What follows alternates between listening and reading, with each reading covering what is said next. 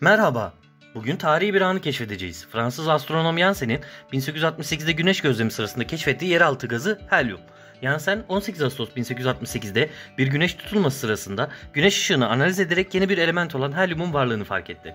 Jansen'in bu keşfi yıldızlarda da elementlerin bulunabileceği ve güneşin bileşimini anlamak için ışığın parçalanmasının ne kadar önemli olduğunu gösterdi. Helyumun varlığı evrenin temel yapı taşlarından birini oluşturduğumuzu anlamamıza yardımcı oldu. Sonuç olarak Jansen'in 1868'deki bu gözlemi evrenin derinliklerine açılan bir pencere olarak tarihe geçti. Bu keşif astronomi alanındaki büyük ilerlemelere katkı sağladı.